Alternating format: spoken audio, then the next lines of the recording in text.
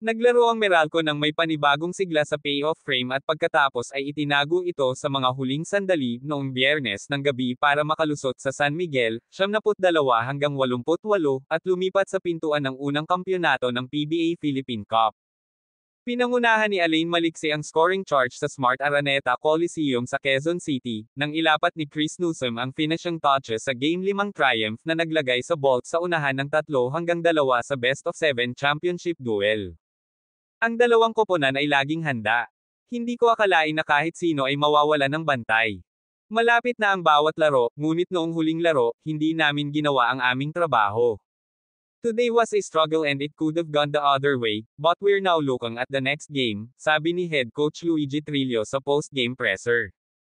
Hindi tayo maaaring maging masyadong mababa sa ating sarili at hindi tayo maaaring maging masyadong mataas sa ating sarili, at alam iyon ng mga taong ito. Matapang sila ngayon. I have faith in the guys, they are a resilient bunch, he went on as his crew rebounded from a decisive game apat na beating last Wednesday. Nagtapos si Maliksi na may 22 puntos mula sa bench, habang si Newsom ay naghatid ng kasing dami na may 18 puntos na dumating sa ikalawang kalahati ng tagumpay. At iyon ang ginawa ng Meralco.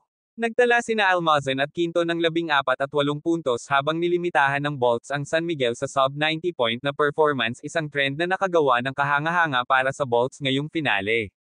Si Fajardo ay may 38 puntos na may 18 rebounds. Nagdagdag si CJ Perez ng 17 ngunit siya lamang ang nag-iisang manlalaro ng San Miguel na nakakuha ng double-digit na score.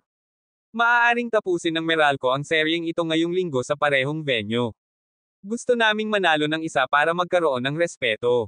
At yun ang nasa isip namin ngayong linggo, ani Trillo.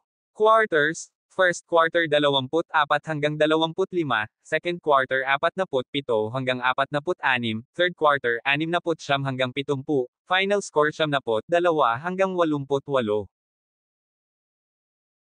Huwag mo kalimutan mag-like and subscribe sa aking channel maraming salamat po.